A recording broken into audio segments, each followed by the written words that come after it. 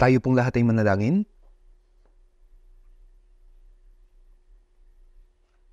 Mahabagin namin Diyos na sa amin ay nagmamahal. Nahabag ka po sa amin, Panginoong Diyos, na mga lumakad sa kasalanan at lumayo sa iyo, Panginoong Diyos. Nagpapasalamat po kami sa dakilang biyaya ng Panginoon na kumuha ng aming sumpa at kahatulan na nararapat sa amin doon sa krus. Nilinis mo po ang aming mga kasalanan magpakailanman sa pamamagitan ng iyong dugo na dumana at niligtas mo po kami na wala kaming anumang ginagawa. Sa oras na ito, kami na tinubos sa pamamagitan ng mahalagang dugo ng Panginoon ay nagpapasalamat sa iyo sa pagtitipon mo po sa amin ng sama-sama sa iyong harapan, Panginoon, na nagpupuri sa biyaya at kaluwalhatian ng Panginoon, nag-aaral ng iyong salita at nakikibahagi sa fellowship sa iyong banal na kapulungan kasama ka, Panginoon. Naniniwala po kami na ang Panginoon ay nasa gitna namin sa oras na ito. Kitignan mo po ang bawat isa sa amin at hawakan mo po ang bawat isa sa pamamagitan ng iyong mahabaging mga kamay upang walang sino man ang mahulog mula sa iyong biyaya, Panginoong Diyos. Pakiusap, masuruan mo po kami tungkol sa kung ano ang dapat namin gawin bilang iyong mga anak, Panginoong Diyos, at hawakan mo po kami sa pamamagitan ng iyong biyaya, salita at ng iyong makapangyarihang mga kamay upang tunay kaming makapamuhay para sa kalooban at kalulatian mo, Panginoong Diyos, sa nalalabi naming buhay. Ang dakilang biyaya at kapangyarihan mo, Panginoong Diyos at ng Espiritu Santo ay samahan nawa ang lahat ng aming mga iglesia sa buong bansa, ang maraming mga iglesia sa buong mundo at ang lahat ng mga brothers at sisters na nag-iingat ng kanilang pananampalataya at nangangaral ng Ebanghelyo sa may hirap na sitwasyon upang matapang silang makapagpatutuo sa Ebanghelyo ng Panginoon sa gitna ng maraming paghihirap upang maisakatuparan ang dakilang gawain na nagliligtas ng mga nawawalang kaluluwa sa pamamagitan ng pag-aakay sa kanila sa iyo, Panginoon. Pakiusap, ingatan mo po ang mga may sakit at may hina at bigyan mo po sila ng sapat na biyaya. Ang mundong ito ay mas nagiging masama, puno ng kasalanan at ito ay malupit na bundo kung saan hindi namin alam kung anong mangyayari sa isang araw. Kami na nabubuhay sa gayong sitwasyon ay walang magagawa kundi ang mahulog sa kasalanan kung wala ang proteksyon at tulong mo, Panginoong Diyos. Kaya pakiusap, hawakan mo po kami sa pamamagitan ng iyong salita at mahabaging mga kamay at protektahan, tulungan mo po kami upang mabuhay ng masunurin na ginagawa ang iyong salita. At sa Panginoon na nagbibigay ng mga salita sa tamang panahon at nagtuturo sa amin ng daan na dapat naming lakaran. Pakiusap, gabayan mo po kami upang mas maunawaan po namin ang iyong mga salita, Panginoon, maging ang iyong banal na kalooban at kung paano kami kikilos ay ihayag nawa sa amin sa mga oras na ito. Ito po ang aming dalangin sa pangalan ng Panginoong Isus. Amen. Buksan po natin ang ating mga Biblia sa awit 18. 18 verse 1. Mga awit 18 verse 1.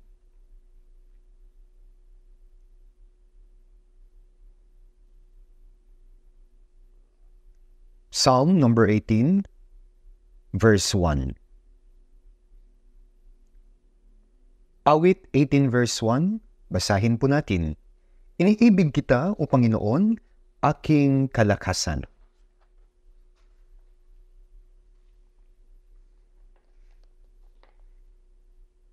Tuwing linggo ng umaga, patuloy nating pinag-aaralan ang tungkol sa salita sa ilalim ng pamagat na ang buhay at ang patay.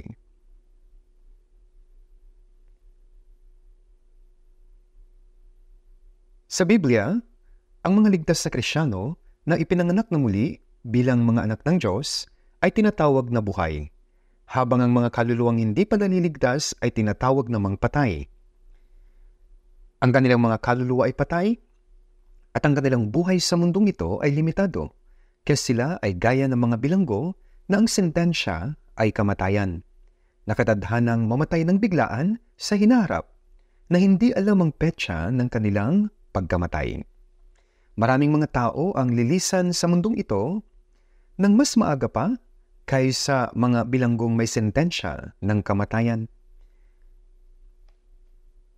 Kaya masasabi natin na ang buhay ng bawat tao ay biglang magwawakas sa isang panahon, gaya ng mga bilanggo na may sentensya ng kamatayan. Ngunit hindi ito ang tunay na buhay. Para sa mga Krisyano na naligtas, sa John chapter 11, simula verse 25, sinabi sa kanya ni Jesus, Ako ang muling pagkabuhay at ang buhay. Ang sumasampalataya sa akin, bagamad siya'y mamatay ay mabubuhay. At ang bawat nabubuhay ay sumasampalataya sa akin ay hindi mamamatay magpakailanman. Dahil ang mga ligtas na tao na tumanggap sa Panginoon, na siyang muling pagkabuhay at buhay, kahit na ang pisikal na katawan niya ay mamatay isang araw, siya ay muling mabubuhay bilang katawang hindi masisira, espiritual na katawan.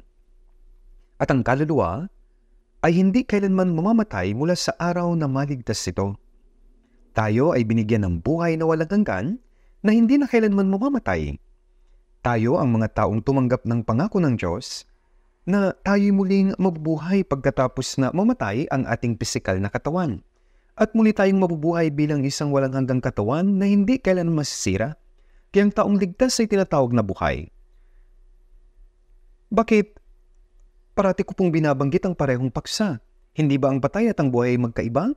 Ang mga Kristiyanong ipinanganak na muli ay tumanggap ng pag-ibig ng Diyos tumanggap ng buhay ng Diyos at magmamana ng kaharian ng Diyos bilang mga anak ng Diyos.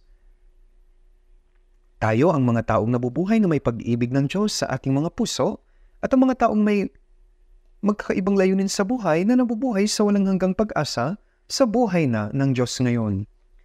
Ang ating mga pagpapahalaga ay magkakaiba. Ang ating mga layunin sa buhay ay magkakaiba at tayo ay magkakaiba ang buhay at ang patay ay hindi po pareho. Sila ay ganap na magkaiba. Tayo ay ganap na iba mula sa mga tao sa sanlibutan. Tunay na sa sandaling naligtas tayo, nabubuhay na tayo sa isang bagong buhay.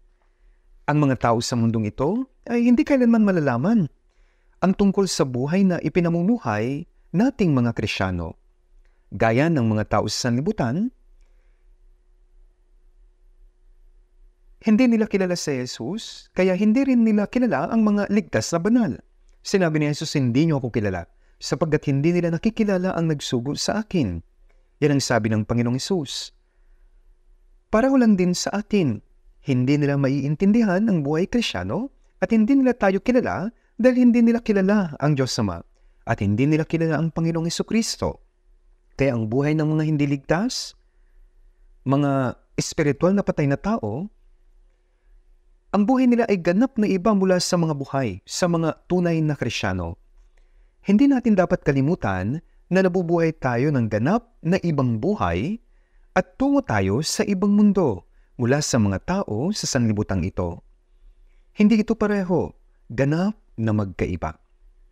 Kasi nasabi na ang mga Krisyanong born again ay buhay. At detalyadong nakasulat sa Biblia kung ano po ang buhay Krisyano. Maring sabihin na may tatlong mahalagang mga bagay na nakatala sa Biblia. Detalyadong naisulat ang tungkol sa Diyos at kung ano ang ginagawa ng Diyos. Kaya maging ang mga hindi mananampalataya ay maaaring maligtas kung kung maunawaan po nila na may Diyos at kung ano ang ginawa ng Diyos sa pamamagitan ng Biblia. Isa pang bagay na nakasulat ay kung ano ang dapat gawin ng isang tao upang maligtas. At nakasulat din ng detalyado kung paano naman dapat mabuhay ang isang taong ligtas. Kaya ang mga hindi pa nananampalataya ay dapat na malaman na may Diyos at kung ano ang ginawa ng Diyos para sa Kanya. Sa awit 118 verse 17, sabi, Hindi ako mamamatay kundi mabubuhay at ang mga gawa ng Panginoon ay isa sa laysay. Nangangaral tayo ng salita ng Diyos upang malaman ng iba na ang Diyos ang lumikha ng langit at ng lupa, na ang Diyos ang namamahala sa kalawakan sa pamamagitan ng kapangyarihan ng Diyos at siya ang kumukontrol ng kasaysayan at isinasakatuparan ng gawain ng pagliligtas ng mga tao sa pamamagitan ng Panginoong Heso Kristo. Kaya nga ang mga hindi mananampalataya ay dapat na sumampalataya sa pamamagitan ng pagkaunawa sa katotohanan sa pamamagitan ng Biblia. Upang magkaroon ng kaligtasan, nakadetalye sa Biblia, ang dapat gawin ng isang tao. At hindi ito mahirap. Marcos 1.15 Sabi, kayo'y magsisi at manampalataya sa Ebanghelyo. Ang kahulugan ng pagsisisi ay pagkaunawa ng isang tao ay miserableng makasalanan sa harapan ng Diyos na nakakaramdam ng pagsisisi at iniiwan ng kasalanan. Inaamin ang kanyang landas sa kabaliktaran sa landas, landas ng Diyos at bumabalik siya sa Diyos. Kaya ang pagsisisi ay pagkaunawa sa kasalanan at pagkaunawa sa biyaya ng Diyos upang tumanggap ng kaligtasan. Ang tunay na pagsisisi ay ang maligtas. Dapat nating tanggapin ang ibanghelyo ng Diyos na may nagsisising puso. Higit pa rito, ang mga ligtas sa Krisyano ay hindi dapat mag-isip na naligtas na ako, kaya tapos na iyon. Natanggap ko na ang walang hanggang katubusan at pupunta na ako sa langit, kaya mabuti na iyon. Mali po, bakit tayo niligtas ng Diyos? May layunin ang kanyang kaligtasan at may dahilan kung paano dapat mabuhay ang mga Krisyano. Sabi sa awit 49.20, taong nasa karangalan. Subalit hindi nakakaunawa ay gaya ng mga hayop na namamatay. Hindi mga hayop ang mga tao. Ang mga hayop ay sinisilang upang huliin at patayin. Ngunit ang mga ibon, sa langit, maging ang isda, at ang lahat ng mga nilalang na gumagapang sa lupa ay ibinibigay para sa sangkatauhan.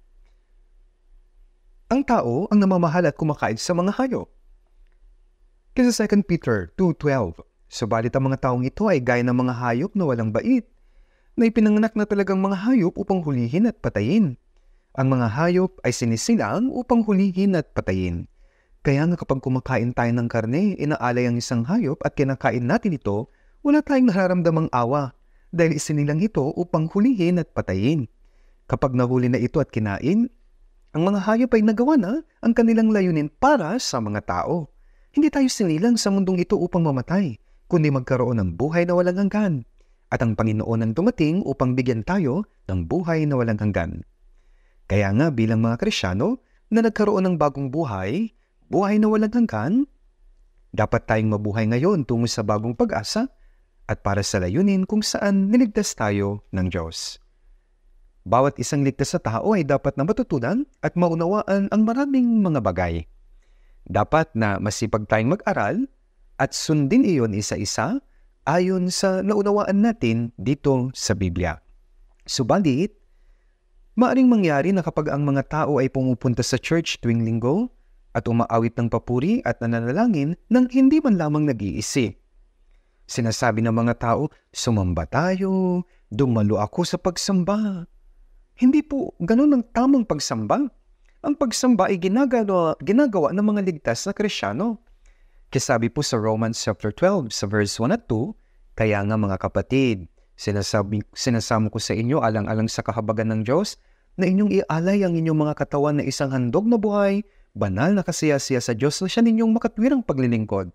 Sabi pa, huwag ninyong tularan ang sanlibutan ito, kundi magbago kayo sa pamamagitan ng pagbabago ng inyong pag-iisip upang mapatunayan ninyo kung alin ang mabuti, kasiyasiya at lubos na kalooban ng Diyos.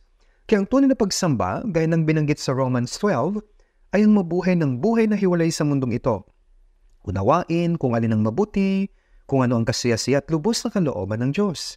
At ang mabuhay sa kaloobang iyon, yun ang buhay krisyano. Kaya mula sa araw na ating, uh, ng ating kaligtasan hanggang sa tumayo tayo sa harapan ng Panginoon at maging sa langit at pagsamba ay magpapatuloy. Iyon ang kahulugan ng pagiging isang krisyano. Ngunit ang pagpunta sa simbahan, pag-awit ng himno, pananalangin, pagsama sa ritual, pakitang tao na paghahandog ng ilang barya, kaya rin gawin yan ng ibang relihiyon. Nagbibigay ng maraming pera ang mga Buddhist. Kapag tinignan natin ang kanilang templo, malaki po at ingrande ang mga ito. Ginagawa rin yan ng mga Muslim. Sa mga bansang Muslim, nagtatayo po sila ng mga malalaking moske. Nung napunta po ako sa Myanmar, tinatawag nila itong templo sa Budismo nakakita ako ng isang napakalaki sa unang pagkakataon, napakalaking templo. May ilang daang imahe ni Buddha at naglalagay sila ng ginto sa itaas, itaas ng mga iyon. Kaya maging ang mga tao na hindi naniniwala sa kanila ay ginagaya sila. Kaya ang punto, ginagawa rin iyon ng ibang relihiyon. Kung hindi tayo mag-iingat, maipapamuhay natin ng formal lang ang ating relihiyosong buhay krisyano hindi po isang formal na relihiyon ng Kristyanismo Ngunit sa ngayon, nagiging gayon ang Kristyanismo. Hindi dapat maging ganon. Kaya ngayon patuloy nating pag-aaralan kung ano ang kahulugan ng mabuhay gaya ng mga taong ligtas sa Biblia. Ang buhay natin ay ganap na iba mula sa taong hindi pa tumatanggap ng kaligtasan sa mundong ito. Mga espiritual na patay sila at tayo ay espiritual na buhay. May tinanggap tayong buhay na walang hanggan at hindi na tayo muling mamamatay. Ang ating pagpapahalaga, layunin ng buhay at mga aktol na buhay dapat na iba. Hindi yun dapat maging pareho sa kanila. Alam niyo po ba yun? Kaya habang nag-aaral tayo ng Biblia, nabubuhay tayo sa buhay ng pagsunod. Nagsisimula tayo sa maliliit na mga bagay ayon sa kaya nating gawin, ito ang pagsunod sa Panginoon, ito ang unti-unting pagtulad sa Panginoon. Ang ating mga puso't buhay ay dapat na mas nagiging gaya ng sa Panginoon. Kaya nga, noong nakaraang linggo, binanggit ko ang tungkol sa pag-ibig ng Diyos. Ang pag-ibig ng Diyos ang pinagmumulan ng ating kaligtasan. Sa unang 1, 4.16 at ating nalaman at sinampalatayanan ng pag-ibig ng Diyos para sa atin. Ang Diyos ay pag-ibig. Sa lahat ng mga kasulatan, ang pinaka kamangha-mangha at mapagpalang mga salita ay minamahal tayo ng Diyos. Ang maluwalhati at banal na Diyos na lumalang ng kalawakan ay minamahal ang mga makasalanang tulad natin. Bago tayo naligtas, tayo mga kaaway ng Diyos. Ito ay sa pamamagitan ng mga masasamang gawa natin sa kasalanan. Ngunit kahit na tayo mga makasalanan, gaya ng sabi po sa Romans chapter 5, minahal na tayo ng Diyos. Na ang Diyos ay minahal tayo. Ang pinaka nakakamanghang salita sa Biblia. Kung wala po ang pag-ibig ng Diyos, walang sino mang makakatanggap ng kaligtasan. Kaya nga at ating nalaman at sinampalatayanan ng pag-ibig ng Diyos para sa atin. Sapagkat gayon na lamang ang pag-ibig ng Diyos sa sanlibutan na ibinigay niya ang kanyang tanging anak. Ipinako siya sa krus ng Diyos, dumanak ang kanyang dugo, tiniis niya ang nakakahiya at sakit sa krus, upang dalhin ang lahat ng mga sumpa at kahatulan ng mga kasalanang dapat nating tanggapin. Iyon ang pag-ibig ng Diyos. Sabi na ibinigay niya ang kanyang tanging anak. Ibinigay niya bilang handog na alay hanggang sa kamatayan upang ang sino mang sa kanya ay sumampalataya ay huwag mapahamak kundi magkaroon ng buhay na walang hanggan. Ang pananampalataya sa katotohanan ito ay ang pananampalataya sa pag-ibig ng Diyos. Roma 8.32, siya na hindi ipinagkait ang kanyang sariling anak, kundi binigay dahil sa ating lahat. Kaya pinahayag ng Diyos ang kanyang pag-ibig sa pamamagitan ng hindi niya pagkakait ng kanyang sariling anak, kundi binigay siya upang mamatay para sa ating lahat. Saan pa tayo makakahanap ng taong magsasakripisyo ng kanyang nag-iisang anak para sa kamatayan ng iba? Maging tayo na mga tao lang, hindi natin magagawa ang bagay na ganun. Ngunit ang lumalang na Diyos, na lumalang ng kalawakan, ang Diyos Sama na kapantay ng anak at ng Espiritu Santo, tatlong persona ng Diyos, hindi niya ipinagkait ang kanyang anak, ang anak ng Diyos para sa ating lahat. Binigay siya upang mamatay. Iyon ang pag-ibig ng Diyos. Naunawaan natin ang pag-ibig na iyon ng kaunti lamang. Kahit na naunawaan natin iyon ng kaunti lang, tinanggap natin ang kaligtasan. Pagkatapos sa ating matanggap ang kaligtasan, dapat patuloy nating pag-aralan ng pag-ibig na iyon. Gaya iyon ng bata na alam lang ito. Sabi niya, ah, mahal ako ni tatay at nanay. Pero hindi niya ganap na nauunawaan kung gaano kalaki ang pag-ibig na iyon. Pero habang nabubuhay tayo, nauunawaan natin kung gaano kalaking pag-ibig ang tinanggap natin. Kung gaano kalaki ang pag-ibig ng mga magulang natin. Kung gaano sila naghanap buhay, nagsasakripisyo, nagsisikap para sa atin. Kaya nung naligtas naman tayo, nalaman lang natin kung ano ang ibinigay sa atin para sa kaligtasan. Alam natin na napatawad na ang ating mga kasalanan. Iyon ang pag-ibig.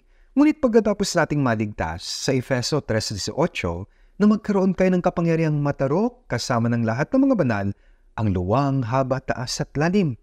At upang kayo mapuno ng lahat ng kapuspusan ng Diyos. Kaya gaya ng sinabi sa Efeso chapter 3, dahil sa pa ang pag-ibig na ito, dahil sa pag-ibig, kaya, kaya ninisan niya ang matayog, banal na trono at nagpunta sa mundong ito. Ang lalim ng pag-ibig na nagtaas maging sa mga makasalanan na nakatadhana sa ilalim ng impyerno. Ang landas ng pag-ibig ay hindi natatapos. Ang pag-ibig na nagmamahal sa lahat ang lawak ng pag-ibig na iyon, dapat nating mas maunawaan ang pag-ibig na ito. Kapag naunawaan natin ito, ang kapuspusan ng Diyos ay nilalalang sa loob natin. Kasabi dito sa awit, sabi ni David dito sa 18 verse 1, Iniibig kita o Panginoon aking kalakasan. Kapag binabasa ko ang mga salitang ito, naantig talaga ang puso ko.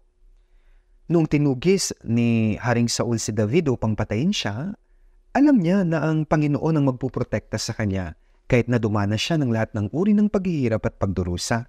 Kaya sabi ni David, Panginoon o Panginoon aking kalakasan. Iniibig ka namin, ang Panginoon na nagligtas sa amin, ang Panginoon na aking buhay, ang Panginoon na aking pag-asa, ang Panginoon na aking tagapayo. Ipinahayag natin ang ating pag-ibig sa pamamagitan ng pagsasabi, Panginoon, na magdadala sa amin sa walang hanggang karian, Jehovah na aming buhay at kalakasan, minamahal ka namin. Unang 1.4.19 Tayo umiibig sapagat siyang unang umibig sa atin. Minamahal natin ang Panginoon dahil po siya ang unang umibig sa atin. Kasi sa 1 John 4.10, narito ang pag-ibig, hindi sa tayo umibig sa Diyos, kundi siya ang umibig sa atin at sinugo ang kanyang anak na pantubos sa ating mga kasalanan. Kaya namatay ang Panginoong Isus bilang handog pangkapayapaan upang ipagkasundo tayo ng mga kaaway ng Diyos. Hindi dahil sa minahal natin ng Diyos, kundi dahil minahal tayo una ng Diyos. Kaya sa pamamagitan ng dakilang pag-ibig at kamanghamanghang pag-ibig, pinatawad tayo sa ating mga kasalanan. Naligtas tayo at naging mga anak tayo ng Diyos at ang pag-asa na makapasok sa langit ay dahil lahat sa pag-ibig ng Diyos sa atin. Kaya minamahal kita, Panginoon. Iniibig natin siya sapagkat siya ang unang umibig sa atin at nabubuhay tayo na bihag ng pag-ibig na iyon. Kaya nga sa 2 Corinthians 5.14, ang pag-ibig ni Kristo ang humihimok sa amin. Naging bilanggo tayo ng pag-ibig ni Kristo. Naging alipin. Sa unang pagkakataon na umiibig ang mga tao, sinasabi nila, Kapag wala ka, mamamatay ako. At kapag wala ako, mamamatay ka rin. Sinasabi lang nila iyon pero gaano kaganda kung may pagpapatuloy sana iyon. Kapag nagmahal tayo, nagiging bilanggo kayo ng pag-ibig. Kahit pa mamatay tayo para sa pag-ibig. Ngunit, depende sa ang pag-ibig na iyon. Depende po. Hindi siya sa isang panig lang. Minamahal muna ng mga magulang ang kanilang mga anak. Sinisilang nila ang kanilang mga anak, pinapalaki sila, at nagbibigay sa kanila ng lahat ng uri ng mga mabubuting bagay. At ang isang bata na tumanggap ng pag-ibig na iyon ay nagmamahal sa kanyang mga magulang dahil nga tinanggap niya ang pag-ibig na iyon. Tama po? Kung minamahal ng asawang lalaki ang kanyang asawang babae, ang asawang babae na tumanggap ng pag-ibig na iyon ay minamahal din ng kanyang asawang lalaki. Pagtugon ito sa pag-ibig. Hindi mabuti na magmahal kayo at hindi suklian ang pag-ibig na ito. Kaya kapag tumatanggap kayo ng pag-ibig, ngunit hindi nyo magawang suklian iyon, hindi po ito mabuti. Kapag nagmahal kayo, gusto nyong mahalin din kayo. Depende po ito. Mahal kita, ngunit hindi mo ako kailangang mahalin. Wala pong ganyang bagay. Kapag tumanggap ako ng pag-ibig, hindi mabuti na tumanggap ako ng labis sa pag-ibig at wala naman akong ginagawa upang suklian ang pag-ibig na iyon. Ngunit, tinanggap natin ang dakila at kamanghamanghang pag-ibig ng Diyos. Pero minamahal ka namin, Panginoong Diyos. Ikaw na aming, ikaw ang aming buhay, pag-asa at kalakasan. Pinapaliwanag ng Biblia ng detalyado kung paano umibig. Ang pag-ibig ng Diyos para sa atin ay dakila at kamangha-mangha. Ito po ay banal na pag-ibig. Siyempre po, ang pag-ibig na mayroon tayo para sa Panginoon ay napakaliit sa paningin ng Diyos. Ang mga magulang halimbawa, masaya sila kapag nakikita nila ang kanilang mga anak ay nagmamahal at sumusunod sa kanilang mga magulang pagkatapos silang matanggap ang dakilang pag-ibig mula sa kanilang mga magulang. Paano masusuklian ang lahat ng pag-ibig na iyon ng isang anak? Paano natin masusuklian ang lahat ng pag-ibig na tinanggap natin mula sa Diyos? Hindi ko makakayang sukatin ang pag-ibig na tinanggap ko.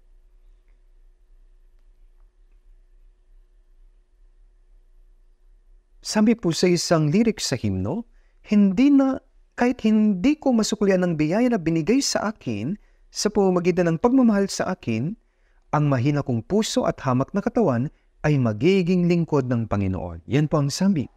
Kahit na hindi ko masuklian ang biyaya na binigay mo sa akin sa pamamagitan ng pagmamahal sa akin, ang mahina kong puso at hamak na katawan ay magiging lingkod ng Panginoon. Kaya nga, maglilingkod ako sa Panginoon. Napakalinaw po nito. Ang Panginoon na nagbigay ng kanyang buhay para iligtas tayo. Kaya ngayon dapat natin na iniibig ang Panginoon at nais ng Panginoon na ibigin natin talaga siya. Mahal kita ngunit hindi mo ako kailangang mahalin. Hindi yun mangyayari. Nais niyang ibigin natin siya. Walang isang bagay na mahal kita pero okay lang na hindi mo ako mahalin. Walang ganun. Gusto ng Diyos na ibigin natin siya.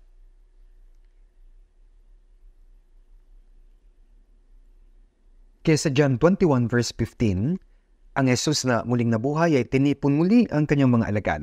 At sabi niya kay Pedro, Simon, anak ni Juan. Pinangalanan siyang Pedro ni Jesus, ngunit bakit siya tinawag sa kanyang original na pangalang Simon na anak ni Juan? Dahil nais ng Panginoong magsimula si Pedro muli. Tinawag ni Jesus sa mga mangingisda na nanguhuli ng mga isda sa dagat ng Galilea. Ngayon, magsimula tayong muli sa dagat Galilea. Ganun po yun. Sumunod din si Pedro kay Jesus sa loob ng tatlot kalahating taon. Ngunit natapos ito nang pinagkaila niya si Jesus ng tatlong ulit. Natapos si Pedro sa kabiguan. Muling nabuhay si Jesus ng araw na iyon. At pagkatapos makita ni Pedro ang muling nabuhay na Panginoon, lahat ng kanyang pagdududa ay nawala at tunay na po siyang nanampalataya sa Panginoon. Ito ngayon ang bagong pasimula.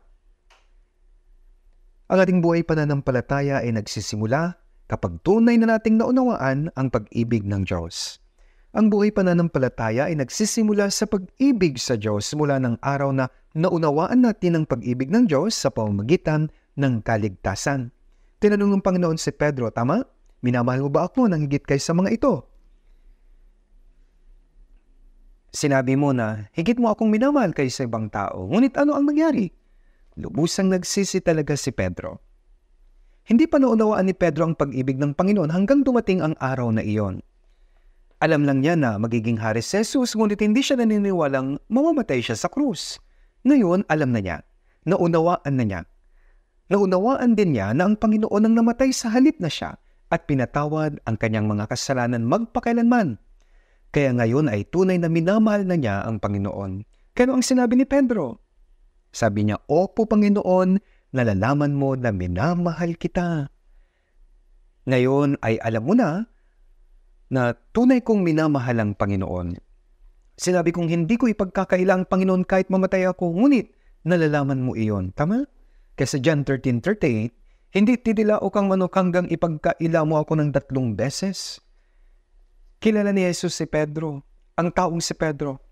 Ang taong si Pedro ay hindi kayang tunay na ibigin ng Panginoon noong una. Hindi niya naunawaan ng pag-ibig kung paano siya iibig. Hindi niya kayang sumunod sa Panginoon. Ngunit ngayon na naunawaan na ni Pedro ang pag-ibig ng Panginoon, maaari na po siyang sumunod sa Panginoon saan man siya magpunta. Iniibig kita Panginoon higit pa sa lahat sa mundong ito. Kaya tinanong ni Jesus ang parehong tanong na ito ng tatlong beses at sinagot ito ni Pedro sa iisang paraan. Panginoon, sabi niya, nalalaman mo ang lahat ng mga bagay, nalalaman mo na minamahal kita. Tatanungin din po ng Panginoon ang bawat isa sa atin. Ikaw, brother, sister, minamahal mo ba ako? Minamahal mo ba ako ng higit sa lahat ng bagay sa mundo? Higit sa mga magulang mo? Higit sa iyong asawa? Higit sa iyong anak? higit sa iyong mga kapatid. Anong problema dito? Sinasabi ng ibang tao, oo, oh, si Jesus ay isang sakim na nais ibigin lamang. Dapat siya lang daw. Ngunit isa itong maling pagkakaintindi. gaano na lamang kahigit tayong inibig ng Panginoon? Gaano man natin siya higit na minamahal, bagaman mamatay tayo ng isang dang ulit para sa Kanya, hindi natin kailanman mababayaran ng buo ang Kanyang biyaya at pag-ibig para sa atin. Kaya nga ano ang mali sa pakiusap niya na ibigin siya ng higit kay sa anumang bagay? Wala po, natural lamang. Ang umiibig sa ama o sa ina ng higit kay sa akin ay hindi karapat dapat sa akin. Mateo 10.37 Ibig sabihin na hindi siya karapat dapat sa pag-ibig na binibigyan ng Diyos sa atin. Ang Panginoon upang iligtas tayo, iniwan ang malawalahating langit, bumaba sa hamak at makasalanang mundo. Dinanas ang parehong kahirapan bilang tao. Nabuhay siya sa hamak na pamilya sa loob ng 30 years. Tiniis ang pagdurusa sa loob ng tatlot kalahating taon sa kanyang pampublikong ministeryo. Namatay sa krus at nagtumanggap ng pagdurusa. Bakit? Dahil inibig niya tayo. Kung wala ang pag-ibig na yun, paano tayo maliligtas? Ito ang pag-ibig ng Diyos at si Jesus ang kumakatawan sa pag-ibig. Kapag naunawaan natin ang pag-ibig na iyon, natural na lamang na ibigin ng Panginoon na higit kaysa anumang bagay sa mundong ito. Kung hindi, ibig sabihin na hindi pa natin lubusan na unawaan ang kanyang pag-ibig. Sangayon po ba kayo rito? Kapag tinanong tayo ng Panginoon, dapat tayong sumagot gaya ni Pedro, Panginoon, nalalaman mo po na minamahal kita. Alam po ito ng Panginoon. Nakasulat sa 1 Korinto 8.3. Sabi, Subalit, kung ang sino man ay nagmamahal sa Diyos, ang taong ito ay kilala niya. Kilala ng Diyos kung sino talaga ang umiibig sa Kanya. Sa John chapter 5, 41 to 42, sinabi ni Jesus doon, Hindi ako tumatanggap ng kaluwalhatian mula sa mga tao, Subalit nalalaman ko na ang pag-ibig ng Diyos ay wala sa inyo. Hindi naghahanap ng kaluwalhatian si Jesus sa mga tao. Sabi niya, sa inyo. Kinakausap niya rito ang bayan ng Israel. Ang bayang pinili ng Diyos. Masikap nilang sinunod ang kautusan noon, iningatan ng sabat, nagtipon sa templo upang sambahin ng Diyos, nagsikap silang mabuti. Gayunpaman, sabi ni Jesus, Subalit nalalaman ko na ang pag-ibig ng Diyos ay wala sa inyo kaya alam ng Diyos kung iniibig natin siya o hindi. Panginoon, nalalaman mong minamahal kita. Siyempre po, alam niya ang tungkol dito. Alam niya kung gaano natin siya kamahal. Alam din niya kung sino ang hindi umiibig sa Kanya. Sinabi niya na ang pag-ibig ng Diyos ay wala sa inyo. Alam niya ang lahat ng bagay patungkol sa atin. Kaya nga sa Mateo 10.30, maging ang mga buhok sa inyong ulo ay bilang na lahat sa palagay ba ninyo may bagay na hindi alam ang Diyos? Wala po. Alam niya maging ang pinakamaliit na detalye. Hindi niya na ito kailangang bilangin pa. Alam na niya ito. Gaya po ng sabi. Alam niya lahat. Kahit maliit na detalye, alam niya po ito lahat. Alam na alam niya ito. Kasi sabi sa awit 147.4, ang bilang ng mga bituin ay kanyang binibilang. Binibigay niya sa kanilang lahat ang mga pangalan nila. Hindi natin lubos maisip kung gaano tayo iniibig ng Diyos. Alam niya ang lahat ng mga bagay. Walang bagay ang hindi niya alam. Walang lugar kung saan wala ang Diyos. Walang bagay ang hindi niya alam. Walang bagay ang hindi niya kayang gawin. Tama po? Sa mga katwid, alam niya lahat. Maging sa oras na ito, kung puno ang main hall na ito, halimbawa, 3,000 na katao ang narito ngayon, maging ang educational center. Ngayon ay maganda ang pagkakagawa nito. Mukhang maraming tao ang mm, naroon ngayon. Mabuti po ito. Dahil ang lahat ay nandito, wala nang maupuan sa main hall. Ilang libo man o hindi, nakikita ng Diyos ang bawat isa sa atin. Alam niyo po ba ito? Alam niya kung nananampalataya tayo sa Kanya at alam niya. Alam niya kung gaano po natin siya kamahal. Alam din niya kung wala tayong pag-ibig sa mga puso natin. Alam ng Diyos lahat. Tingnan natin sa John chapter 2, 1, 1 chapter 2,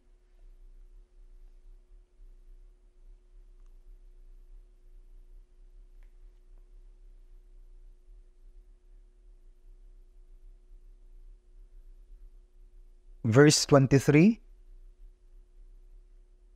John chapter 2, simula po verse 23.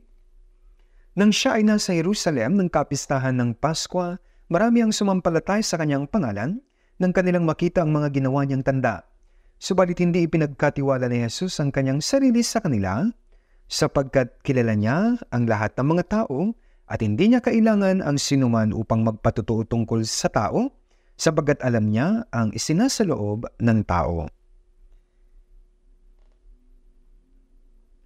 Nagtungo si Jesus noon sa Jerusalem para sa Paskwa at kumuha ng maraming himala roon. Kaya mga nakakita ng himala ay naniwala sa kanya dahil sa mga himala.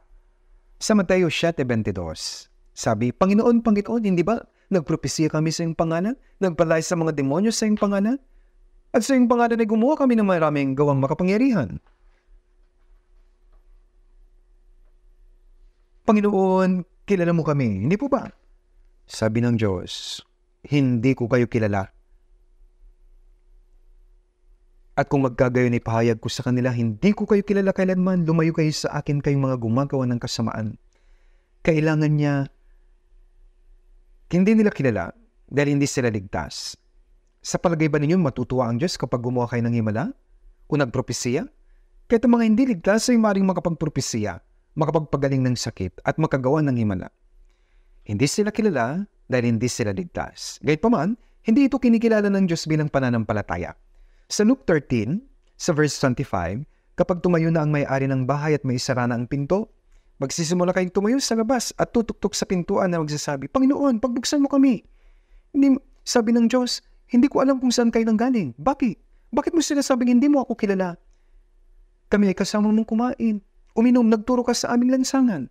Talagang malapit kami sa iyo, Panginoon, sabi ni Jesus sa huli. Hindi ko alam kung saan kayo nanggaling lumayas kayo, kayong lahat na gumagawa ng kasamaan.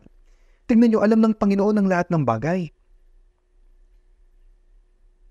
Naniniwala ako sa isang tao, ngunit hindi naniniwala ang tayong, taong iyon sa akin.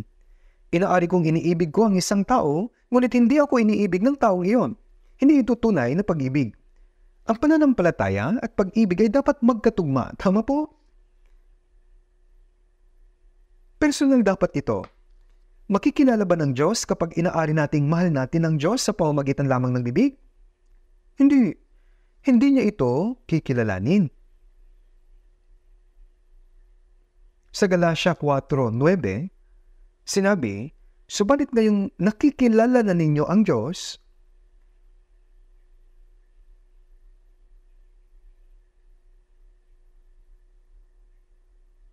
usahanip ay kinikilala na kayo ng Diyos. Kilala ko ang Diyos at kinikilala ako ng Diyos. Oh, nakamamangha po ito. May kilala po akong tao, ngunit minsan hindi ako kilala ng taong iyon. Tama. Ang pagkakilala dapat palitan, ngunit minsan one-sided o isang bahagi lamang ito. Minsan ang ibang tao ay nagsasa- nagsasabing kilala nila ang isang tao ng mabuti. Ngunit kapag tinanong ang taong iyon, kilala mo ba siya? Ah, hindi ko kilala. Ganun po ang sinasabi nila. Kilala mo daw nila pero hindi talaga nila kilala. Dapat kilala tayo ng Panginoon. Anong ibig sabihin nito? Ito po yung tunay na relasyon. Kaya nga sabi, subalit ngayon nakikilala na ninyo ang Diyos, o sa halip ay kinikilala na kayo ng Diyos. Kaya kilala ng Diyos ang mga umiibig sa Kanya. Kilala niya, tama po? Kaya ano ang ibig eksaktong sabihin ng ibigin ng Panginoon.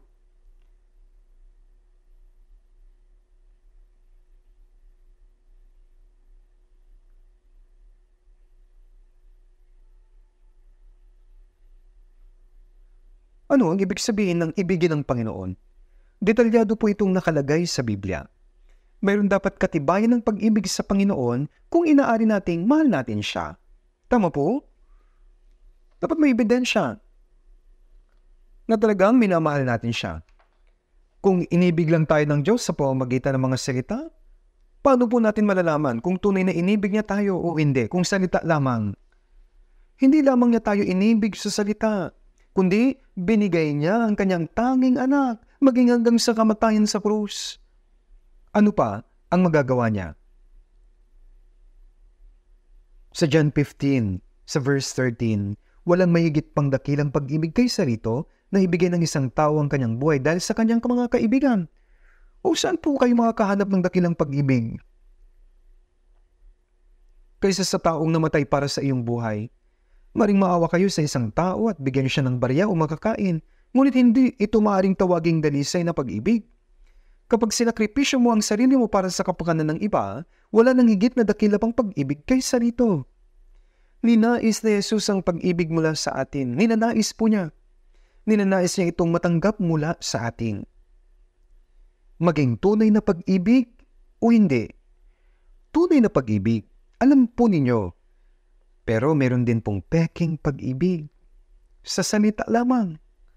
Sino ang hindi makapagpapayag ng pag-ibig sa kanilang bibig lamang? Gusto po ng Diyos na tunay na pag-ibig ang ibigay natin sa Kanya? Dahil kung sa salita lamang, peke po ito. Kung sasabihin natin sa bibig lamang, ang mga Amerikano, alam niyo po palagi nilang sinasabi, I love you. Mahal kita. Mahal mo ako. I love you so much. Gaano mo ako kamahal? Mahal na mahal kita, sabi nila. Gayun pa man madalas sa kanila ang divorce. Iyon nga ba ang pagmamahal? Ang pag-ibig ay walang katapusan. Kapag sinasabi ng mag-asawa na mahal nila ang isa't isa, habang malakas pa sila. Ngunit kapag iniwanan ng isa ang isa kapag may sakit na, pag-ibig po ba iyon?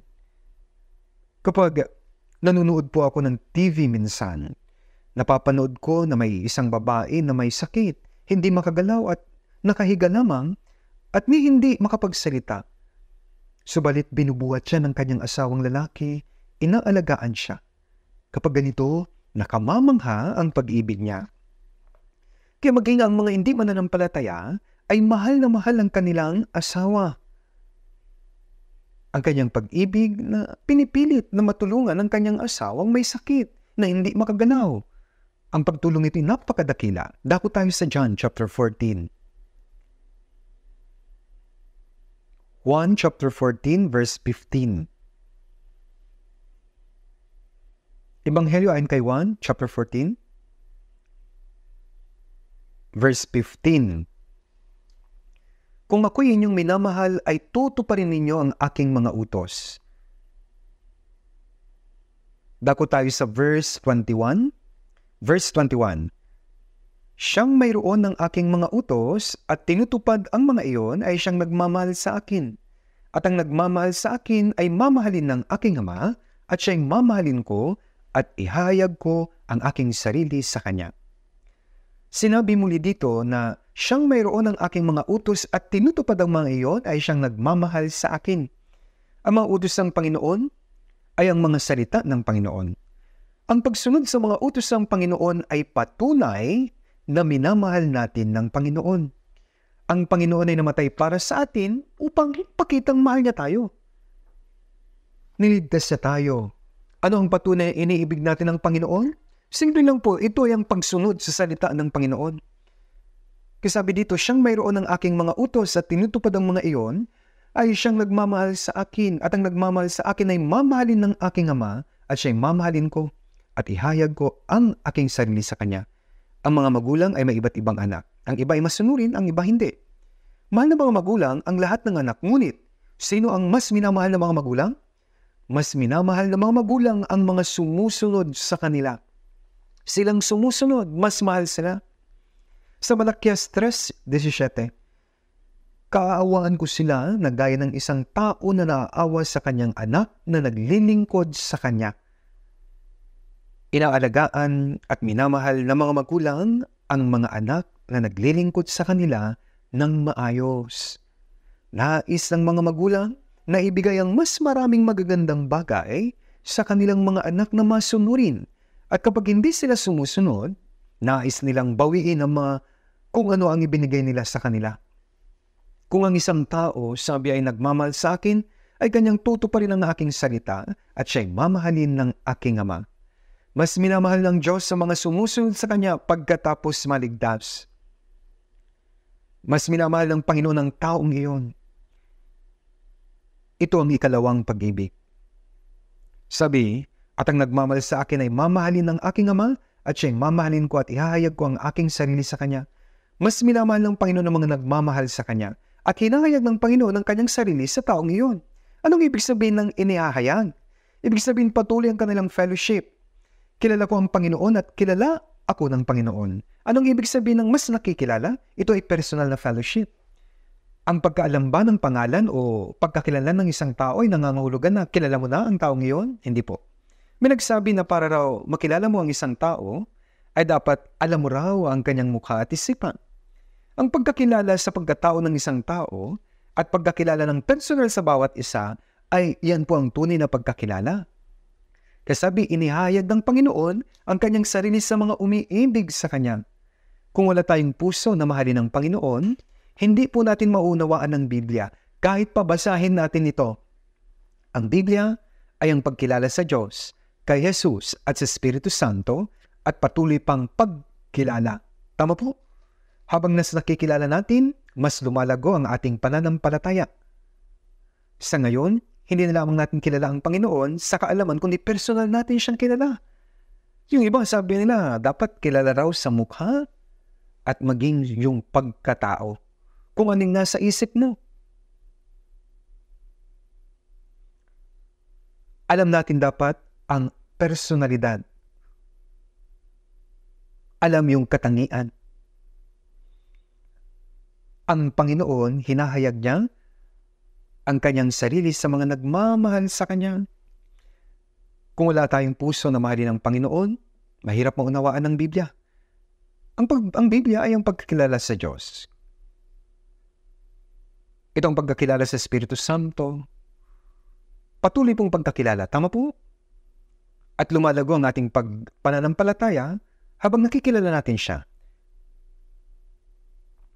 Kaya sa ngayon, hindi lamang natin kilala ang Panginoon sa kaalaman, kundi personal natin dapat siyang nakikilala. Doon po nangyayari ang tunay na fellowship. Ang tunay na fellowship ay nangyayari kapag ang katotohanan at ang isa pang katotohanan ay nagkaroon ng ugnayan sa isa't isa. Kapag ang isang tao ang tapat ngunit yung isa hindi tapat, hindi mangyayari ang tunay na komunikasyon. Kapag ang katotohanan at katotohanan ay nagtagpo, nabubuo ang tunay na fellowship. Kaya ang pag-ibig ng tao ay hindi po perpekto. Ang tao ay mabilis na nagmamahal at mabilis rin pong nagagalit at napaka makasarili. Pero sabi ng Biblia, hindi nito pinipilit ang sariling kagustuhan. Yan ang pag-ibig. Ngunit hindi natin alam kung gaano kamakasarili ang pag-ibig ng tao. Tingnan po natin sa John chapter 14, verse 23. Sumagot si Jesus sa kanya, Kung ang isang tao ay nagmamahal sa akin ay kanyang tutuparin ang aking salita at siya'y mamahalin ng aking ama at kami lalapit sa kanya at kami gagawa ng tahanang kasama siya. Dito pa ulit-ulit na naisulat ang pagmamahal. Sabi, kung ang isang tao ay nagmamahal sa akin, ay kanyang tutuparin ang aking salita. Ang mga nagmamahal sa Panginoon ay talaga pong tutuparin ang kanyang salita. Sabi dito, at siya'y mamahalin ng aking ama. Bago ito sabi, kung ang isang tao ay nagmamahal sa akin, siya'y mamahalin ng Ama. Siya'y mamahalin ng aking Ama, sabi po. Ang Diyos Ama at si Jesus, sabi, kami gagawa ng tahanan kasama siya. Ano ang tahanan? Ito ang walang hanggang langit. Ang mga taong nagmamahalan, gusto nilang magkasama magpakailanman. Tama po? Ito ay medyo kakaibang kwento, ngunit hindi maganda sa mag-asawa ang maghiwalay ng mahabang panahon pagkatapos may kasal dahil sa anumang kadahilanan. Halimbawa po, gaya ng paghahanap buhay o pag-aaral ng kanilang mga anak. Ang mga tao nga nagmamahal, gusto po nilang malapit sa isa't isa, hindi po magkalayo. Kasi ningin ko, hindi po maganda yung naghihiwalay para lamang sa ilang kadahilanan para sa paghanap buhay o pag-aaral. Ang nagmamahalan, malapit sa isa't isa, gusto nilang mabuhay na magkasama. Yan po yung nagmamahalan. Kaya, at siya'y mamahalin ko, sabi, at ihayag ko ang aking sarili sa kanya, at kami gagawa ng tahanan kasama siya. Ang langit ay ang lugar na inihanda ng Panginoon upang mamuhay kasama ang mga nagmamahal sa Kanya. Yan po ang langit. Tingnan natin sa verse 24. Verse 24, Ang hindi nagmamahal sa akin ay hindi tumutupad ng aking mga salita, at ang salitang inyong narinig ay hindi akin, kundi sa amang nagsugo sa akin. Sabi, ang hindi nagmamahal sa akin ay hindi tumutupad ng aking mga salita. Ano po ang nararamdaman nyo pagkatapos makinig sa salita? May mga taong nag-iisip, mahirap ang sumunod. May mga kahirapan at pagsasakripisyo. Sabagat may katawan pa ako, may mga kinaharap akong sitwasyon, mahirap sundin talaga ang salitang ito. Tanong ko po, bakit ang daming palusot? Ang pag-ibig po hindi nagdadahilan. Kung sinasabi nating minamahal natin ang Panginoon, ngunit hindi natin sinusunod ang kanyang mga salita, kung gayon sa tingin ko, iyan lamang ay lip service. Puro salita lang. Alam po ito ng Panginoon.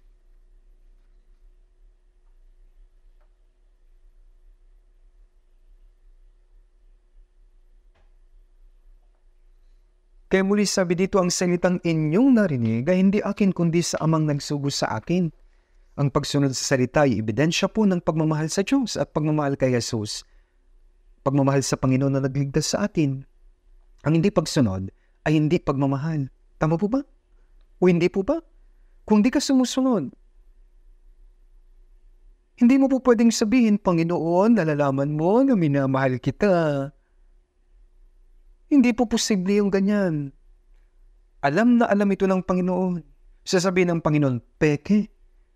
Peke ang pagmamahal mo. Pagkatapos sasabihin mo, minamahal kita Panginoon. Sasabihin ng Panginoon, kailan mo ako minahal? Sabihin mo sa akin, paano mo ako minamahal? Nais malaman ng Panginoon kung ang pagmamahal natin ay tunay at kung talagang isinasabuhay. Alam niyo ito, hindi po ba?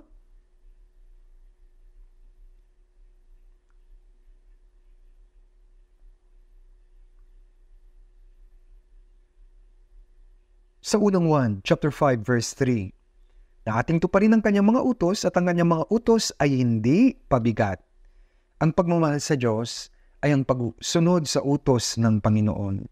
Huwag niyong isipin na ito ay mahirap dahil ito ay isang utos. Ito ang salita. May sinabi ba sa atin ng Panginoon na hindi natin kayang gawin? Wala po. Sinabi niya na ang pagmamahal sa Diyos ay nangangahulugan ng pagsunod sa kanyang mga utos. Ngayon dako tayo sa Ezekiel chapter 33. Ezekiel chapter 33 Pagkatapos po yan ng Jeremias, Ezekiel 33, versikulo 31.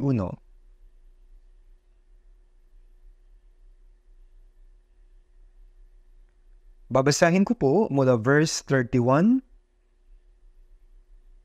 Ezekiel 33, simula verse 31.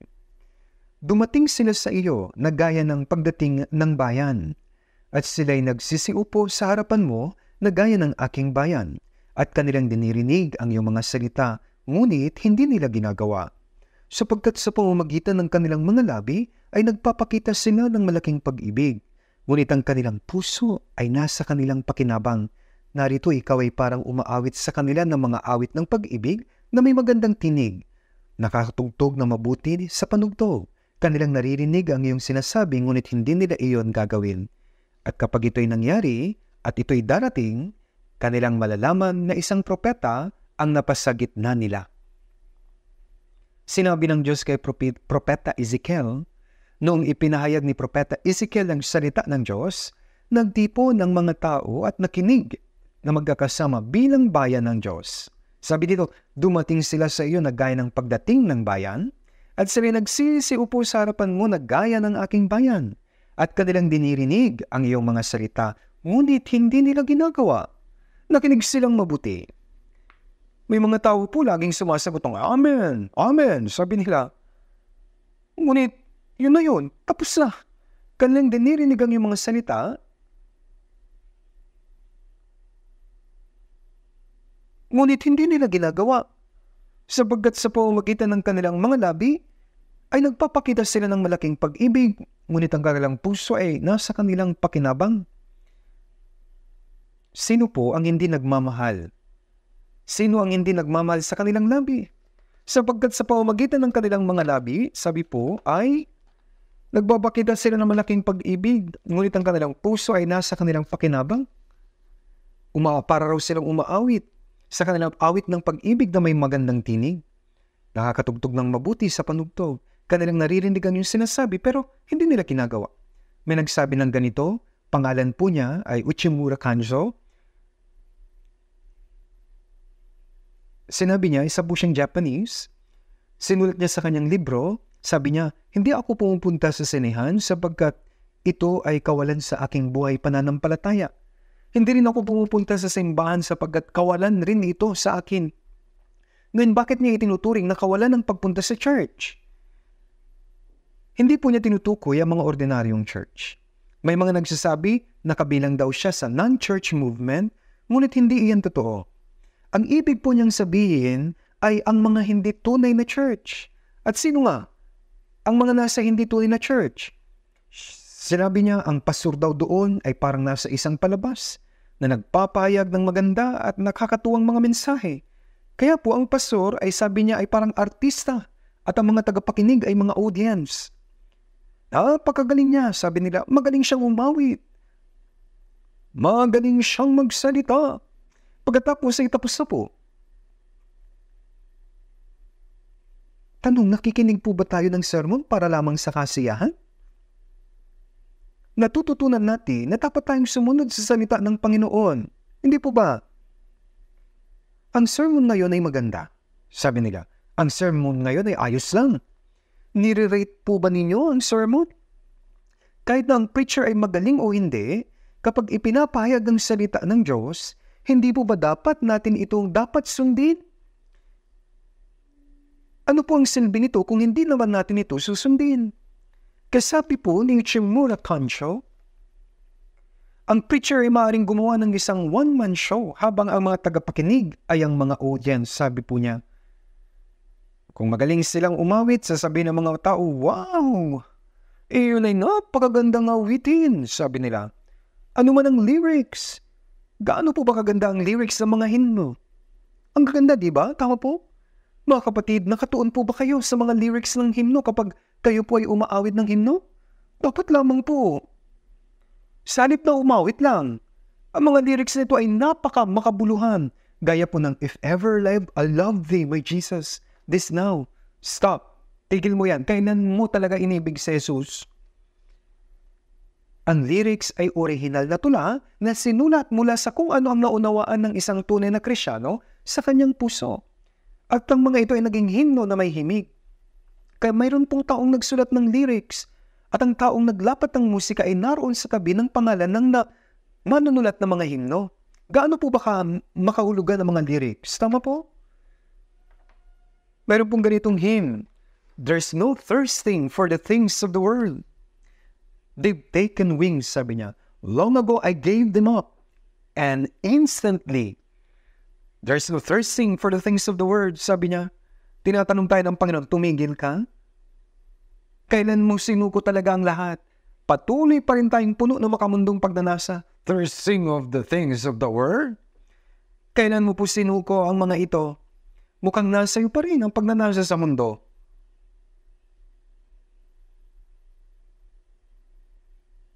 Kaya sa awit 33 verse 1, ang pagpupuri ay nababagay sa matuwid, sabi po. Matuwid na papuri. Hindi po sinabing papuri ng kasinungalingan. Gayun din po ang matuwid na panalangin. Pinapakinggan ng Diyos ang totoong panalangin. Ang panalangin po ba ng magaling magsalita, yan ang tanging panalangin? Kahit na manalangin tayo ng tahimik, Panginoon, Ama ko, Panginoon, kahit tahimik lang, pinapakinggan niya pa rin tayo. Nalalaman ng Diyos ang ating puso sa tuwing tayo ay nananalangin. Matuwid na pupuri at matuwid din po na panalangin. Alam ito ng Diyos mayroong mga taong magaling magtestimony naman. Kahit na hindi naman talaga ganoon ang kanilang pamumuhay. Magaling lang sa salita sa testimony pero kabaliktaran ng buhay. Ito po ay lum- lumang kwento na Meron po noon isang sister na nagbahagi ng kanyang patutuo at ito po ay napakaganda. Kaya may ibang mga church na nag-imbita sa kanya upang marinig ang kanyang patutuo. Ngunit lumabas na hindi pala ito totoo. Kaya ang lahat po ay talagang nadismaya. Ang mahalaga po ay ang patutuo natin ay talagang nakaugnay sa ating buhay. Tama po? Ang panalangin ay hindi isang bagay na nagtatapos lamang po sa amin.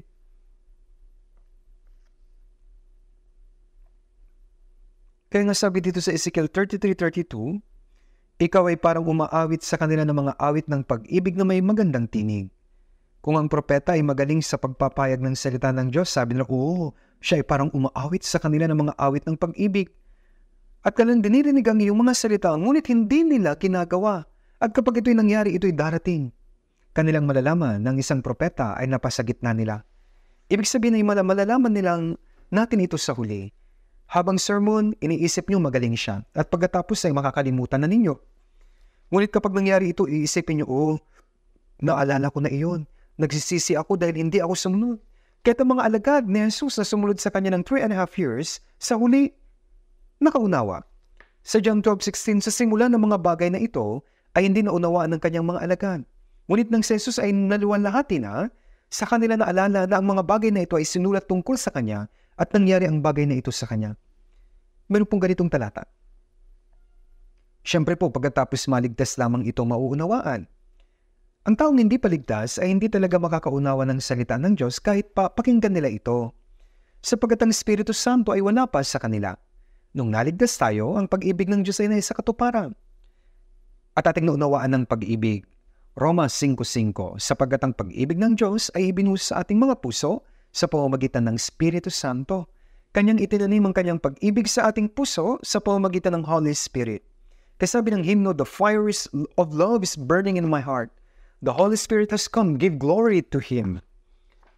Ang Espiritu Santo ng Diyos ay itinanim ang pag-ibig sa atin at pinag-alab ito sa atin. Ang buhay pananampalataya ay resulta ng pag-ibig. At tayo ay hinihimok ng pag-ibig na ito ito po ang mahalaga. Sa Luke 6 verse 46, sabi, Bakit tinatawag ninyo akong Panginoon, Panginoon, ngunit hindi nyo ginagawa ang sinasabi ko? Tinatawag nila siyang Panginoon, Panginoon sa pamamagit lamang ng kanilang bibig. Ang salita pong Lord o Panginoon sa Korean Panginoon. Ito po sa Korean ay mula sa Chinese character na may ibig sabihin na hari o Panginoon. At ang original na ibig sabihin nito ay pasan sa ibabaw ng ulo. Pasan sa ibabaw ng ulo. Sinasabi na sa Jesus ang ulo nating mga ligtas sa Krisyano. Tayo po ang katawan ng Panginoon, kaya naman, ang katawan ay dapat sumunod sa kalooban ng ulo. Tama po ba? Head. Kaya tinatawag natin siyang Panginoon. Na ibig sabihin, siya ang ating ulo. Ako ay tiyak na susunod sa kalooban ng Panginoon. Iyon po ang ibig sabihin nito, Panginoon. Ngunit tinatawag siyang Panginoon, Panginoon. Ngunit di nyo naman ginagawa ang sinasabi ko. Tingnan po natin sa Marcos chapter 7, verse 6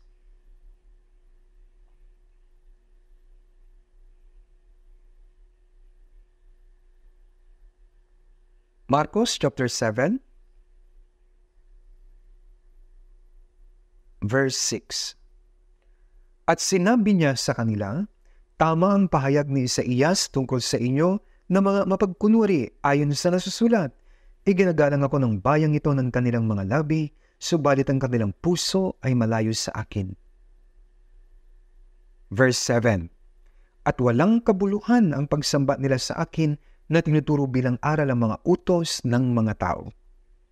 Sabi po ni Propeta Isaías, ginagalang ako ng bayang ito ng kanilang mga labi. Atin pong ginagalang ang Diyos sa ating mga labi. Banal at maluwal ating Diyos Ama, sabi natin sa labi. At mabuti po itong pakinggan. Pero sabi, subalit ang kanilang puso ay malayo sa akin. Ang kanilang puso ay nasa sanlibutan na malayo sa Diyos. Ito po ay pagkukunwari. kaipokretuhan. Nagpapanggap na namumuhay ng maayos na buhay pananampalataya, hindi po ito tama pagpapanggap.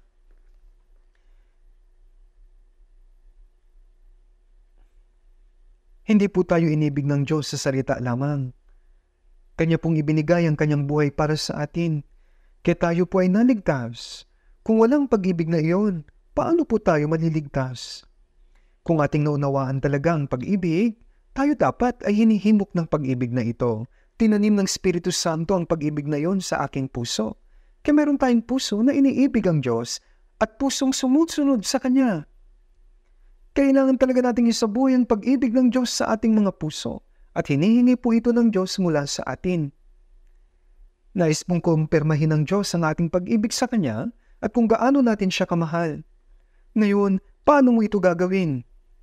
Paano po? Alam ng Panginoon ang lahat ng laman ng puso natin. Kaya ang taong nagsasabi na minamahal nila ang Panginoon ay dapat na ingatan ang mga salita ng Panginoon dahil kung hindi, ang pagsasabi nila na mahal nila ang Panginoon hanggang salita lamang. Gaano kaya madidismaya ang Diyos dito? Gaano mo siya minamahal ngunit minamahal ka pa rin niya? Hindi po dapat sa lips lang, hindi lang sa labi. Pero tandaan natin, minamahal pa rin niya tayo hanggang ngayon. Tingnan po natin sa John 13, verse 34 at 35. 1 chapter 13, verse 34 at 35. Basahin po natin ito pong verse 34 at 35 ng sabay-sabay. Isang bagong utos ang sa inyo'y ibinibigay ko na kayo magmahalan sa isa't isa. Kung paanong minahal ko kayo, magmahalan din kayo sa isa't isa. Sa pamamagitan nito ay makikilala ng lahat ng mga tao na kayo ay aking mga alagad kung kayo may pag-ibig sa isa't isa. Sabi ni Jesus, isang bagong utos ang sa inyo'y binibigay ko. Bakit niya sinabi na ito ay isang bagong utos? Ang lumang utos kasi ay binigay sa mga Israelita pagkatapos na sila ay lumabas mula sa Ehipto at pagkatapos ay binigay ang sampung utos. Ito ang lumang utos. Ang lumang utos ay pag-ibig rin na kung hatiin natin sa dalawa, ay ibigin mo ang Panginoon mong Diyos ng buong puso mo, ng buong kaluluwa mo at ng buong lakas mo at ng buong pag-isip mo at ang iyong kapanagay ng iyong sarili. Ang sampung utos ay tungkol rin sa pag-ibig. Kung iniibig mo ang Diyos ng buong puso mo, ng pambuong pag-iisip mo, buong kaluluwa mo, kung kayo na iipigan mo na rin ang iyong kapwa. Ang ibang ang kapwa ay ibang tao maliban sa akin, kasama dito ang pamilya mo. Ang mga umiibig sa Diyos ay umiibig sa kanilang kapwa gaya ng kanilang pag-ibig sa kanilang sarili. Pinapakain kapag gutom ang iba, dinadamitan sila kapag sila ay ubad at minamahal sila ganong pag-ibig sa sarili. Ngunit, kaya niyo po bang gawin ito? Ang mga taong hindi ligtas ay hindi kayang ibigin ng Diyos ang kanilang buong puso, isip at buhay. Iniibig ba nila ang Diyos? Sinusubukan lang nilang gamitin ang pangalan ng Diyos. Magagawa lamang nating ibigin ng Diyos kapag naunawaan na natin na inibig tayo ng Diyos ng kanyang buong puso, isip at ng buong buhay, doon lamang natin siya iibigin ng tunay. At kung iniibig natin ang Panginoon, ay minamahal na rin natin ang ating kapwa. Nahabag tayo sa mga taong hindi ligtas at tinuturing natin ang mga brothers and sisters na gaya ng tunay na mga kapatid. Kaya nga po sabi, isang bagong utos ang sa inyo binibigay ko na kay magmahalan sa isa't isa.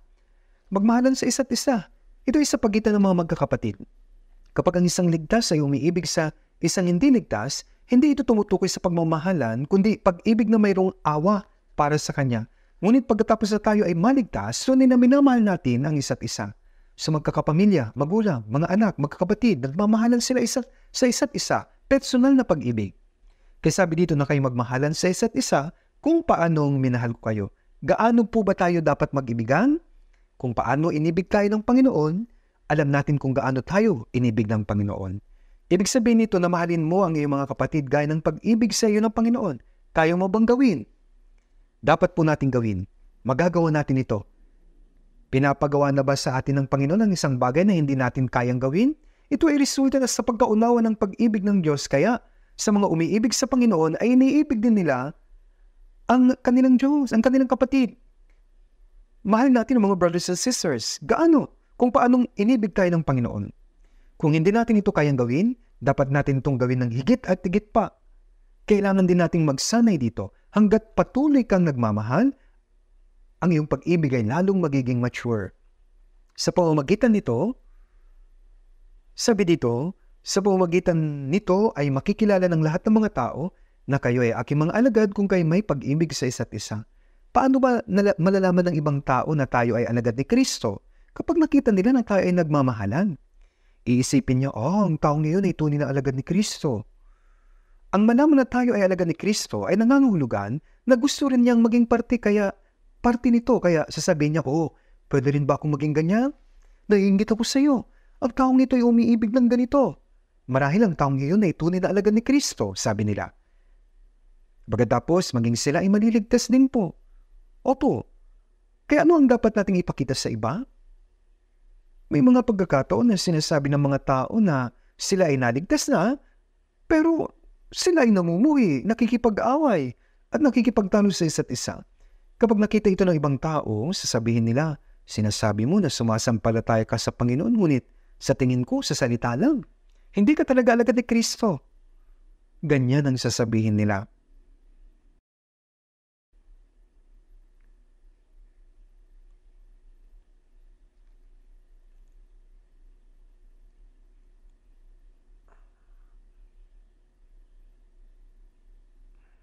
Balikan po natin itong John chapter 13.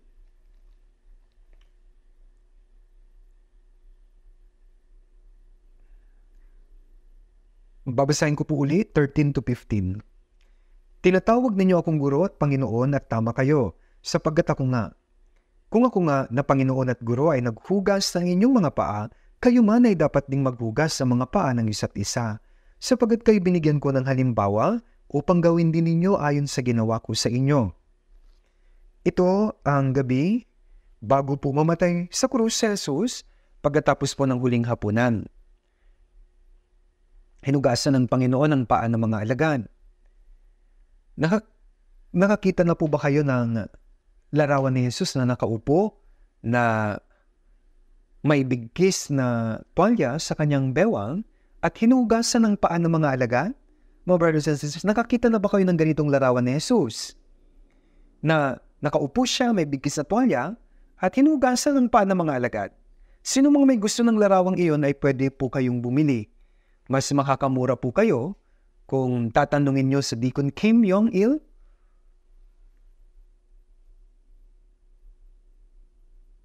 o di kaya si Pastor Wo Huchol.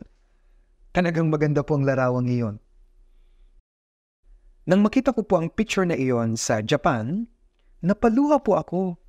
Sino ba si Jesus? Siya ang tagapaglikha, kapantay ng Diyos, hari ng mga hari at Panginoon ng kalwalatian.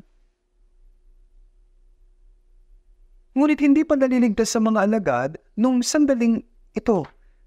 Dahil nangyari ito bago mamatay si Jesus. Hinugasan din niya ang paa maging ni Judas Iscariote siya ay nakaluhod. Pero sino ba ang gumagawa ng paghuhugas ng mga paa? Mga alipin. Nung panong ito, mayroon na ba silang aspalto na kagaya sa atin ngayon? Wala pa po. Sa Palestine po noon, maraming alikabok at ang sapatos nila ay iba sa atin ngayon. Mayroon lang silang sandalyas na sinusuot sa paa at itinatali. Kaya nga kapag naglalakad ka sa buong araw, mapupuno ka ng alikabok may halong pawis, dumi at mabahong amoy. At kapag dumating ka na sa bahay o dumating na sa bahay ang Panginoon, ang unang gagawin ng kanyang alipin ay luluhod sa harap ng pintuan, magbubuhos ng tubig sa isang lagayan at huhugasan siya. Pagkatapos ay kukunin ng tuwalya na nasa bewang niya at pupunasan siya. Ito ang ginagawa ng isang alipin. Sabi sa Filipos 2 verse 5, Magkaroon kayo sa inyo ng ganitong pag-iisip na kakik Kristo Jesus din naman. Ano ba ang puso na mayroon si Jesus? Na ikaw ay maging gaya ng isang alipin. Tinuring ng Diyos na ang makasalanan na ito ay gaya ng isang alipin kaya mayroon pa bang higit pa rito? Ito ang ginawa ng alipin. Ginawa ito ng Panginoong Isus. Kasi sabi ng Panginoong Isus, kung ako nga na Panginoon at Guro ay naghugas ng inyong mga paa, kayo man ay dapat ding maghugas sa mga paa ng isa't isa. Sabagat kay binigyan ko ng halimbawa, Ano pong ibig sabihin nito? Nung ako ay nagsisimula pa sa pagiging pastor, gusto kong may sabuhay ang bagay na ito. Kaya isang gabi, sa huling pagkakataon, isa pa akong kabataan at marami ding ibang kabataan noon. Pitong taon bago ako nagpakasal, pinaupo ko sila sa loob ng isang silid at hindi ko sila pinatayo. Nag-usap kami hanggang hating gabi. Hindi ko sila pinayagan na umalis. Pinahinto ko sila na may, sa may bintuan at hinugasan ko ang paa nilang lahat. Ginawa ko po ito ng isang beses. Ginawa ko po ito dahil gusto ko, ngunit hindi na natin kinakailangan na hugasan pa ang paa ng isa't isa ngayon. Ngunit ang ibig sabihin ng paghuhugas ng paa ay ito po, pagtakpan ng mali ng iba at maging gaya ng isang alipin. Kasabi po sa Galatia 5.13, Sapagat kayo mga kapatid ay tinawag sa kalayaan, subalit huwag lamang ninyong gagamitan ng inyong kalayaan bilang isang kadahilanan para sa naman, kundi sa pamamagitan ng pag-ibig ay maging alipin kayo sa isa't isa. Ito ay ang maglingkod sa pamamagitan ng pag-ibig. Lucas 22.27 Sapagat alin ang higit na dakila, ang nakaupo ba sa pag o ang naglilingkod? Hindi bang nakaupo sa pag? Subalit ako'y kasama ninyo na gaya ng isang naglilingkod. Kapag ang dakilang tao ay umuupo, ang mga karaniwan ay naglilingkod. Ano po ang gusto nyo? Subalit sinabi ni Jesus, subalit ako'y kasama ninyo na gaya ng isang naglilingkod. Sa Matthew 20.28, kung paano ang anak ng tao ay naparito hindi upang paglingkuran, kundi upang maglingkod at ibigay ang kanyang buhay na pantubos sa marami. Kahit na ibigay niya ang kanyang buhay, maigi po na magkaroon po tayo ng pag-isip na gaya niya Subalit nais nating mapagmataas, paglingkuran at hinahamak ang iba at sawayin sila. Hindi ganito ang isip ni Kristo. Sabi, sapagkat kay binigyan ko ng halimbawa upang gawin din ninyo ayon sa ginawa ko sa inyo. Ang Panginoon ang siyang nagligtas sa atin at naging halimbawa para sa atin. At si Apostol Pablo ay talagang tumulad sa kanya, kaya sabi niya, maging tulad kayo gaya ko kay Kristo. Maging tulad kayo sa akin, gaya ko kay Kristo. Gayun pa man, kaya ba nating patawarin ang iba? Kaya ba nating pagtakpan ng pagkakamali ng iba at paglingkuran ng iba gaya ng paglilingkod at gaya ng lingkod na naghuhugas ng paan ng kanyang Panginoon? Ganito ang buhay na tumutulad kay Jesus. At ito po ang inuutos sa atin ng Panginoong Jesus. Subalit ayaw ito ng ating laman at sinasabi, sino ba ako? At nagiging mapagmataas po tayo. Gusto nating itaas.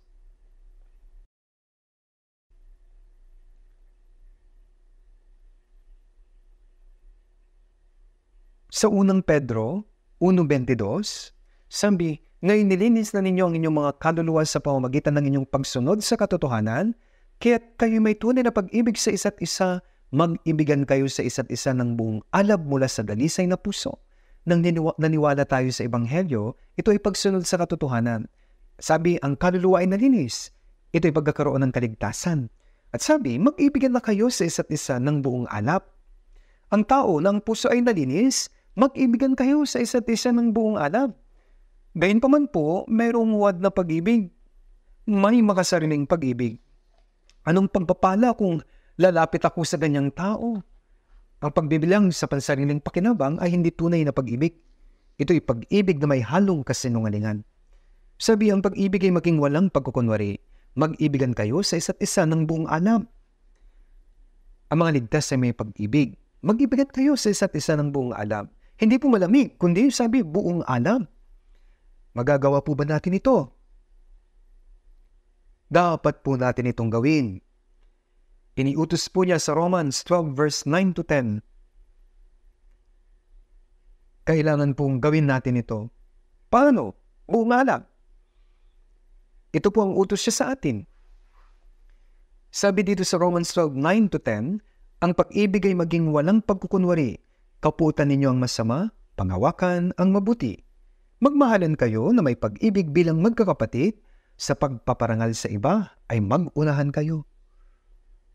Kaya wag nating hintayin respetuhin tayo ng iba, kundi tayo po dapat ang nauuna. Sa pagpaparangal sa iba ay mag-unahan kayo. Gaya ng pagtrato ng alipin sa kanyang Panginoon, ganun ang puso ni Kristo. Ginawa po ito ng Panginoon. Subalit bakit hindi natin ito sinusubukang gawin? Gusto natin tayo yung dapat pinataas kagad. Dapat subukan natin gawin. Unahin ang iba. Sabi sa Romans 15.7, Kaya't tanggapin ninyo ang isa't isa, gaya naman ni Kristo na tinanggap kayo sa ikaluluwalhati ng Diyos. Tanggapin ay nangangulugang patawarin ang isa't isa. Pagtiisan at magpatawaran kayo sa isa't isa, sabi naman po sa Colossians 3.13, kung paanong pinatawad kayo ng Panginoon, ay gayon din naman ang inyong gawin. Sabi po, pagtiisan, magpatawaran sa isa't isa. Tanggapin. Kanina sabi po tanggapin, nangangulugang patawarin ang isa't isa. At ngayon, magpatawaran sa isa't isa. Pinagtiisan ng Panginoon ang mga makasalanan gaya natin.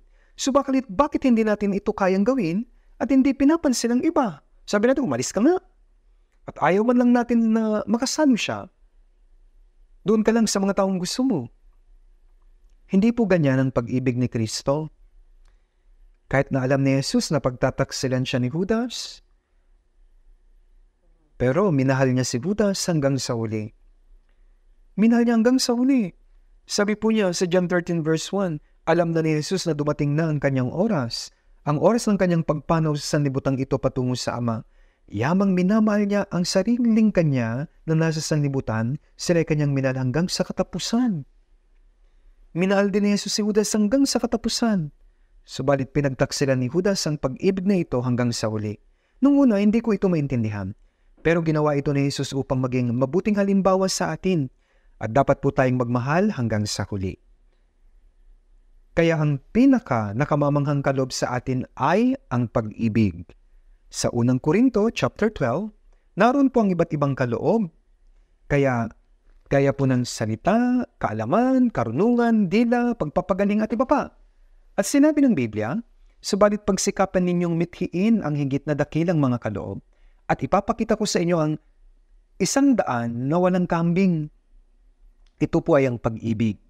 Kaya nga sa 1 Corinthians 13 verse 1 and 2, kung ako'y magsalita ng mga wika ng mga tao at ng mga anghel subalit wala akong pag-ibig, ako'y mag, nagiging isang maingin na pompyang o batinghaw na umalingaw At kung mayroon akong kaloob ng propesiya, at naunawaan ko ang lahat ng mga hiwaga at lahat ng mga kaalaman at kung mayroon akong buong pananampalataya upang mapalipat ang mga bundok ngunit wala akong pag-ibig, ako ay walang kabuluhan. Ang pag-ibig ang pinakamaganda. Ang pag-ibig, katangian ni Kristo, pag-uugali ni Kristo. Sa 1 Corinthians 13 verse 11, Nung ako'y bata pa, nagsasalita akong gaya ng bata. Nag-iisip akong gaya ng bata. Nangangatwiran akong gaya ng bata. Ngayong ganap na ang aking pagkatao, ay iniwan ko na ang mga bagay ng pagkabata. Ito ang patutuo ni Apostol Pablo. Habang siya ay napupuno ng pag-ibig at katangian ni Kristo, siya po ay lumago. Gayunpaman, mayroon pong mga mananampalataya na kinaiinisan ng iba. Hinuhusgahan nila yung iba at mapinis sila. Kailan pa po kayo lalago? Kapag pinapalaki ng mga magulang ang kanilang mga anak, sinasabi nila ang salitang ito kapag hindi tama ang inakasal ng mga anak nila. Kailan kaya siya lalaki o lalago o magmamature? Kaya dapat po nating patawarin ang mahali at mahalin ang bawat isa. Gaya po ng ginawa ni Jesus para sa atin.